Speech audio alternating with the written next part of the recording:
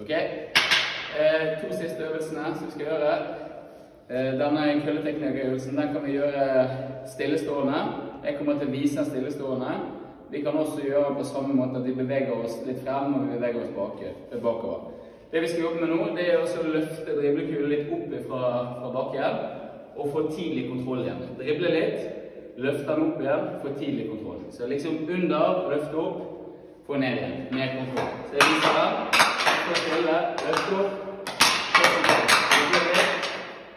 Opp.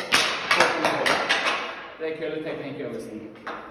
Eh, mobilitetsøvelsen. Så skal vi ligge nede. Vi kaller dette her på en måte å spenne buen.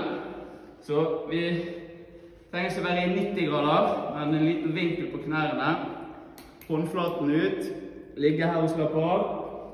Håndflaten som jeg har over, løfter jeg sakte opp. Jeg følger med blikket mitt.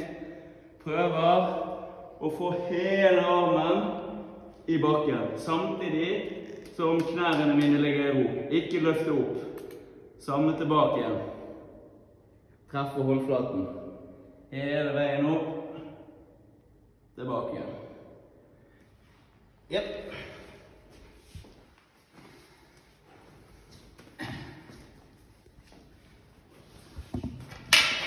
Jobbe, jobbeintervallet akkurat det samme. 30 sekunder kulleteknikk, 30 sekunder mobilitet, 30 sekunder pause, repeter. Klar?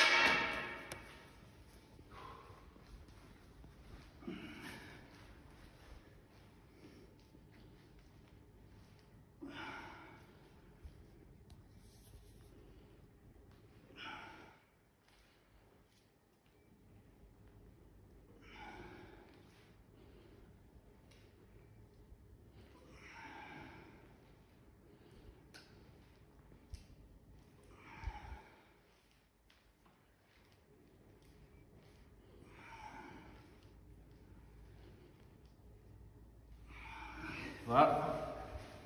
Kjapt opp igjen. På med hansker. Klar. Ny runde.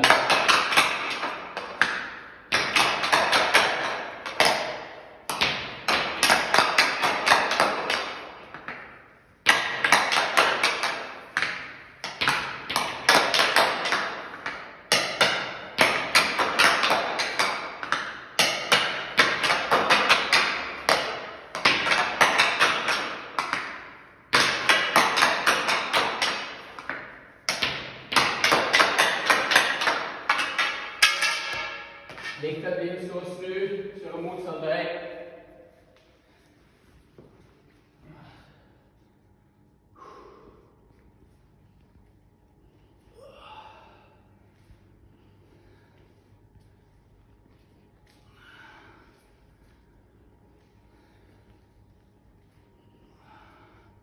Prøv å holde beina som sagt helt i ro her.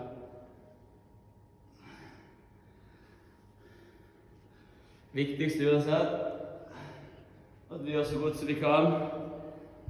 Så blir det til slutt bra.